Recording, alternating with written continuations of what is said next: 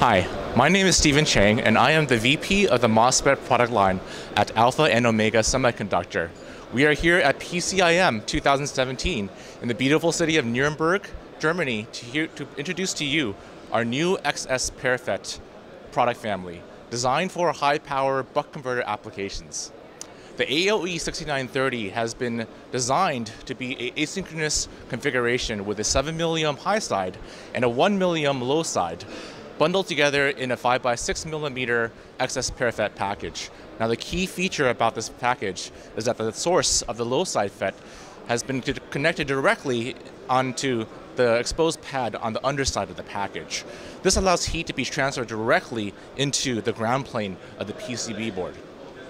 This dramatically improves the, roll, uh, the dissipation as well as simplifies the board layout for circuit designers.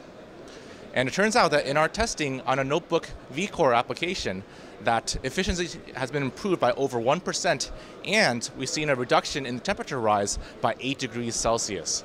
So this XSPairFET family is very well suited for a number of POL applications in both telecom and datacom, as well as can be used to power the latest generation of CPUs, GPUs, and FPGAs. We thank you for your interest in Alpha and Omega Semiconductor.